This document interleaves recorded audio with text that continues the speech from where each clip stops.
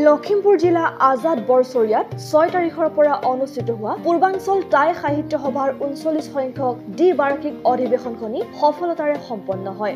পুৱা ন বজাত বৰ্ণাঢ্য সাংস্কৃতিক শোভাযাত্ৰাৰ পাছত এখনি মুকলি সভাও অনুষ্ঠিত কৰা হয়। পদ্মশ্ৰী ডক্টৰ যোগেন ফুকনে উদ্বোধন কৰা মুকলি সভাত উপস্থিত থাকে অসম চৰকাৰৰ মন্ত্ৰী বিমল বৰা আৰু বিহপুৰীয়া সমষ্টিৰ বিধায়ক অমিয় ভূঞা।